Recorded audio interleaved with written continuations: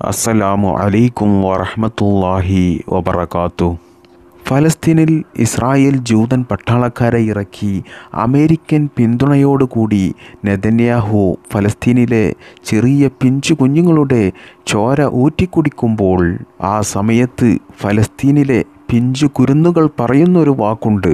ഒറ്റ മിസൈലിൽ ആയിരക്കണക്കിന് പേരെ കൊല്ലാൻ ശേഷിയുള്ള വലിയ വീരം കൂടിയ ബോംബുകളും മിസൈലുകളും ഞങ്ങളുടെ മുകളിൽ ഉണ്ടാകാം. എന്നാൽ അതിലും മുകളിൽ ഞങ്ങളുടെ റബ്ബുണ്ട്. അതുകൊണ്ട് ഞങ്ങളെ ആർക്കും തന്നെ തോൽപ്പിക്കാൻ സാധിക്കില്ല എന്ന് ഫലസ്തീനിലെ പിഞ്ചു കുരുന്നുങ്ങൾ പറയുന്നൊരു വാക്കാണ് ഇത്. റബ്ബ് ഞങ്ങൾക്ക് നൽകിയ പരീക്ഷണത്തിൽ ഞങ്ങൾ സന്തുഷ്ടരാണ്. കാരണം റബ്ബ് സുബഹാനഹോ താല പരീക്ഷിക്കുന്നുണ്ടെങ്കിൽ അത് റബ്ബ് സുബഹാനഹോ താലാക്ക് ഇഷ്ടപ്പെട്ട ആളുകളെ മാത്രമേ പരീക്ഷിക്കുകയുള്ളൂ. ആർക്കൊക്കെ നന്മ കൊടുക്കാൻ ഉദ്ദേശിക്കുന്നുവോ ആരൊക്കെ അള്ളാഹു ഇഷ്ടപ്പെടുന്നുവോ അവരെ അള്ളാഹു സുബഹാനഹു തല പരീക്ഷിച്ചു കൊണ്ടേയിരിക്കുന്നതാണ് എന്നാൽ തിന്മയിലും അധർമ്മത്തിലും കഴിയുന്നവർ ദുനിയാവിൽ ആർത്തുല്ലസിച്ചവർ കഴിയും. എന്നാൽ ദുനിയാവിലെ ഈ ചെറിയ സമയം മാത്രമുള്ള ഈ ജീവിതത്തിൽ മാത്രമേ അവർക്ക് സന്തോഷം അള്ളാഹു നൽകുകയുള്ളൂ. എന്നാൽ അവസാനമില്ലാത്ത അറ്റമില്ലാത്ത മരണമില്ലാത്ത ആഹ്റത്തിലെ ജീവിതത്തിൽ അള്ളാഹു സുബഹാനഹു താല അവർക്ക് വലിയ പ്രയാസവും ബുദ്ധിമുട്ടും വലിയ ശിക്ഷയുമായിരിക്കും നൽകുക. ഫലസ്തീൻ മക്കളുടെ ശാപമാണ് ഇന്ന് ഇസ്രായേൽ രാജ്യത്ത് നടന്നുകൊണ്ടിരിക്കുന്നത്. അതായത് ഇസ്രായേൽ ജൂതൻ പട്ടാള ക്യാമ്പുകളിലും ഇസ്രായേൽ രാജ്യത്തും ജൂതന്മാർ ചിന്നിച്ചിതറുന്നു പരസ്പരം തമ്മിലടിച്ച് അടിച്ചു വിരിയുന്ന ഒരു അവസ്ഥയാണ് ഇപ്പോൾ ഇസ്രായേലിൽ നടക്കുന്നത്. നെതന്യാഹുവിനെതിരെയും ഇസ്രായേൽ ജൂതൻ പട്ടാളക്കാർക്കെതിരെയും ഇസ്രായേലിലെ സാധാരണക്കാരായ ജനങ്ങൾ വലിയ പ്രതിഷേധം നടത്തുകയാണ്. ചില ഇസ്രായേൽ ജൂതന്മാർ ഫലസ്തീനികളെ അനുകൂലിക്കുകയും ഇസ്രായേലിന്റെ ഈ ക്രൂരതയെ അതിശക്തമായി എതിർക്കുകയും ചെയ്യുന്നു. അതുകൊണ്ട് തന്നെ ഫലസ്തീനിലെ ജൂതൻ പട്ടാളക്കാരുടെ നേതാവ് പറഞ്ഞത് നിങ്ങൾ ഫലസ്തീനികളെ അനുകൂലിക്കുകയാണെങ്കിൽ നിങ്ങളെയും ഗാസയിലേക്ക് പറഞ്ഞയച്ച് അവിടെ വെച്ച് നിങ്ങളെ കൊലപ്പെടുത്തും എന്നാണ് പറഞ്ഞിരുന്നത്. ഇവിടെ നമ്മൾ ഓർക്കേണ്ടത് ഫിരാവിനിന്റെ ചരിത്രമാണ്. അതായത് മൂസാ നബി അലഹിസലാത്തു വസ്സലാമിനെതിരെ തിരിയാൻ വേണ്ടി സിഹിർ ചെയ്യുന്നവരെ മാരണം ചെയ്യുന്ന പണിക്കന്മാരെ അവർ കൊണ്ടുവന്നു. എന്നാൽ അവിടെ നടന്നത് മൂസാ നബി അലഹിസ്ലാത്തു വസ്സലാമിന്റെ മൊയ്ജസത്ത് കണ്ട് ആ മാരണക്കാരെല്ലാം ഇസ്ലാം മതം സ്വീകരിക്കുകയായിരുന്നു ഉണ്ടായത്. മൂസാ നബി അലഹിസ്ലാത്തു വസ്സലാം വിശ്വസിക്കുന്ന റബ്ബിൽ ഞങ്ങളും വിശ്വസിച്ചിരിക്കുന്നു എന്ന് അവർ ഉറക്കെ പറയുകയുണ്ടായി.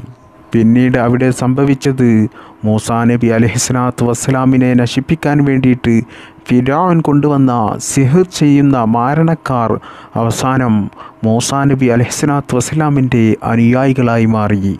മൂസാ നബിയുടെ സഹായികളായി മാറി. ഇതുതന്നെയാണ് ഇന്ന് നാം കണ്ടുകൊണ്ടിരിക്കുന്ന ഇസ്രായേൽ ജൂതൻ പട്ടാളക്കാർക്കും സംഭവിച്ചു കൊണ്ടിരിക്കുന്നത്.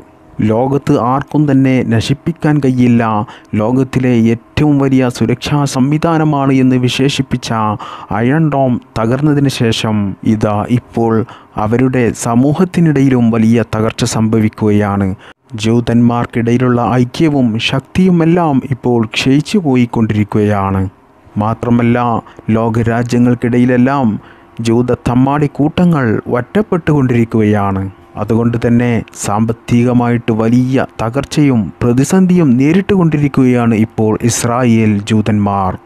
ഒരു പക്ഷേ ഈ ദുനിയാവിൽ കുറഞ്ഞ സമയത്തേക്ക് അവർക്ക് ഫിറാവിനെ പോലെയും നമ്രൂദിനെ പോലെയും ഫലസ്തീനികളുടെ മേലിൽ അവർക്ക് മേൽക്കോയ്മയും ആധിപത്യവും ഉണ്ടായേക്കാം. എന്നാൽ ഇൻഷാല്ല ഉറപ്പാണ് അതെല്ലാം തകർന്നടിയാൻ ഉള്ളതാണ്. ഫിറാൻ നശിച്ചതുപോലെ നമ്രൂദ് ചത്തൊടുങ്ങിയതുപോലെ അബൂലഹബ് നാമാവിശേഷമായതുപോലെ ഇസ്രായേൽ ജൂതന്മാരും ഈ ലോകത്തിൽ നിന്ന് ഉന്മൂലനം ചെയ്യാനുള്ളതാണ് നശിച്ചു പോകാനുള്ളതാണ്. മാത്രമല്ല ഇസ്രായേൽ ജൂതൻ കാട്ടാളന്മാർക്ക് ഈ ദുനിയാവിൽ നിന്നും ആഹ്റത്തിൽ നിന്നും അള്ളാഹു സുബാൻഹു താല വലിയ ശിക്ഷയായിരിക്കും നൽകുക. ദുനിയാവിൽ നിന്ദ്യതയും നിസാരതയും മാത്രമായിരിക്കും അവർക്കുണ്ടാകുക എന്നാൽ ആഹ്റത്തിൽ അവർക്ക് അതിഭയാനകമായ വേദനാജനകമായ ശിക്ഷയായിരിക്കും അള്ളാഹു സുബാനഹു ഹോത്താല അവർക്ക് നൽകുക.